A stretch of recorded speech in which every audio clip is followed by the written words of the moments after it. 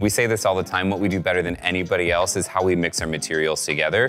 And this feels like, this even feels fresh for us. My name's Adam Dunn. I'm the creative director at Four Hands, and I lead product development and design for the brand. So the material for this collection is really important. It's actually a mix of solid oak and thick oak veneers. What's great about that is that we're able to wire brush all of the wood to get this really beautiful grain structure that comes out of the material. Finished on top of that is this really pretty sand color. The sand really allows you to see the wood grain come through, so your eye's constantly moving. There's a ton of movement going on in the finish, and the grain direction really helps to tell the story. Blended with that is this putty colored leather. We call this leather chapped sand that goes great with the sand finish on the wood. The case pieces are just as great as the bed. The hardware for me really makes the design.